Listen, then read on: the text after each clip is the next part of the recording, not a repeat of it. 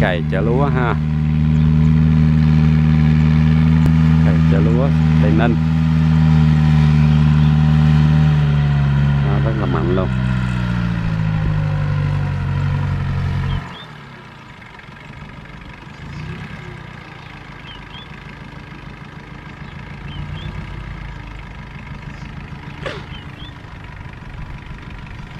Tây ninh trồng thì đâu có khi nào thất đúng không? Chứ, không có hả? Tại vì đâu có thấy ngập đâu có thấy gì đâu mình chủ động được mà. Hết. dạ.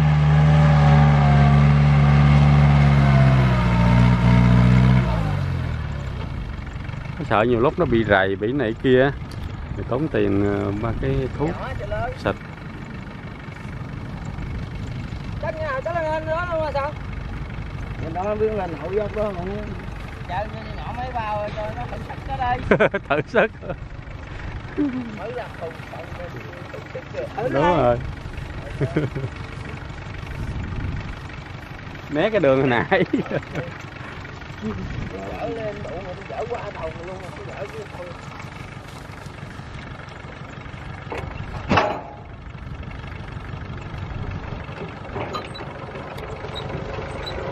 Ồ cái này phải quay à bóc tối luôn bạn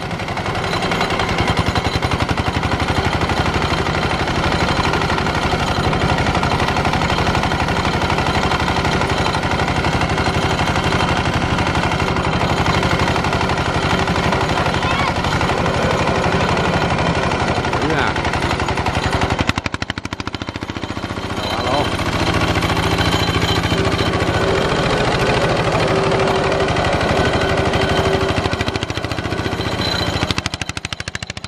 Wow.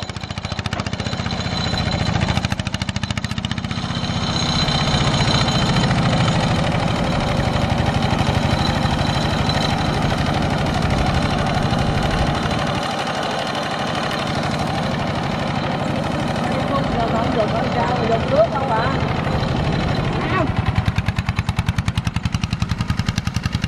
Đó, lên cao, lên cao, lên cao. Mấy bao mà dùng con chỗ à?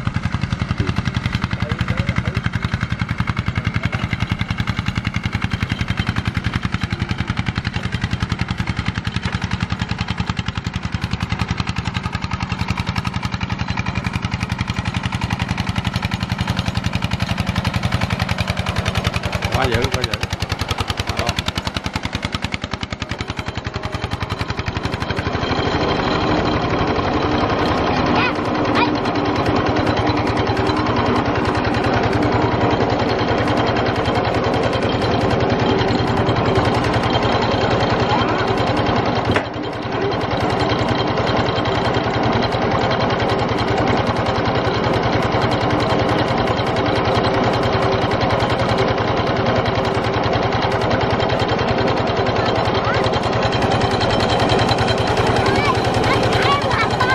Rồi, chạy tiếp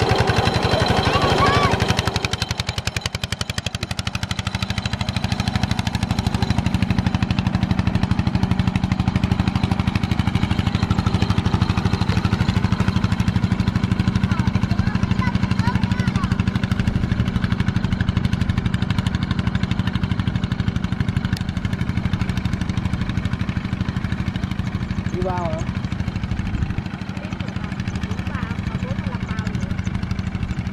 Mang làm màu hả?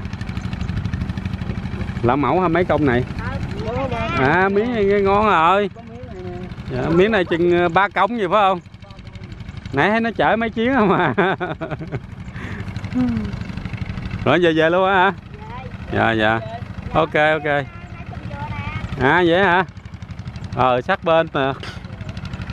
Khỏi tốn tiền công ha. Lên ồ dữ vậy hả? Dạ Bữa thống dụng lên rồi. Dạ. Rồi chuẩn bị quất luôn Rồi, hết.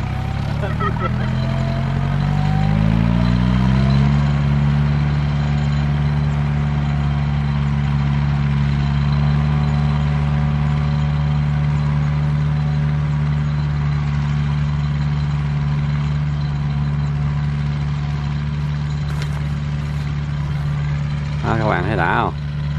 Quá đã ha wow. Xe công nông tây ninh ha. Xe công nông tây ninh. Wow, tôi phải à, đi theo quá. À,